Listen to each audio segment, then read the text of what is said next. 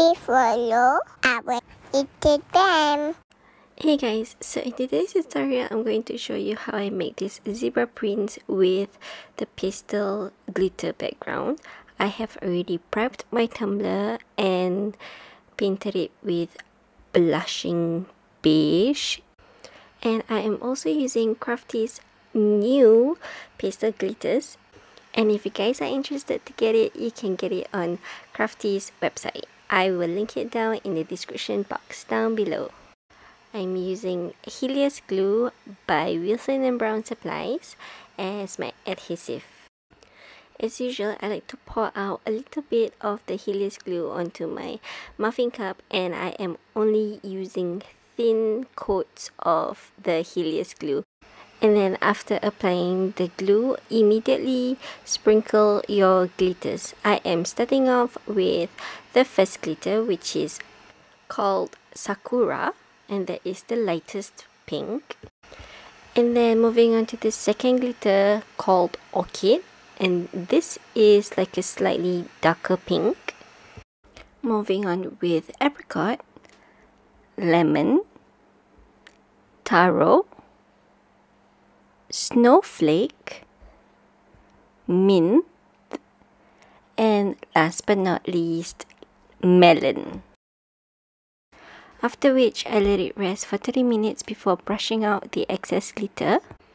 And then because it was a little bit too light due to the fact that my background was not the same color as my glitter, I decided to do a second round of glittering. This is optional, but I just wanted it to be more visible. I am repeating my steps with Helios glue and then continuing with the glitter.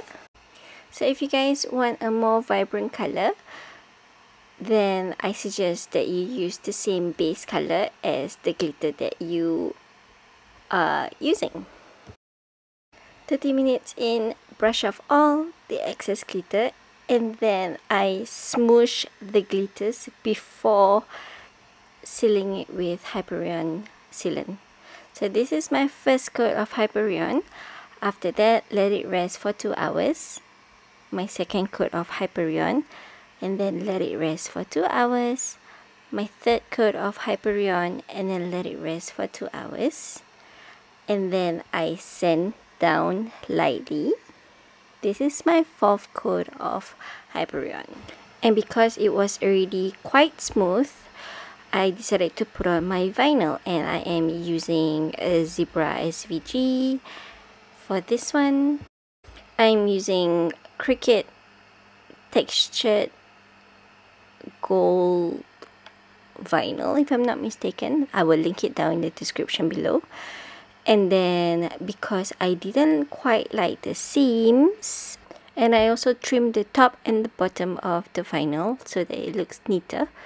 And this is how the seam actually looked like. I didn't quite like it so I decided to hand cut it with my Cricut scissors and this is how it looks like. And then I suggest sealing your vinyls with Helios glue before putting on your fifth coat of Hyperion and then onto my sixth coat of Hyperion I believe I did sand down and then I did a couple more coats of Hyperion but this is the end result and it is it is so fast to do this tumbler and if you guys like it please give it a thumbs up and subscribe to my channel.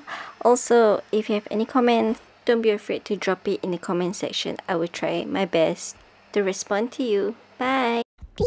I do please I do us I do I do us. That's right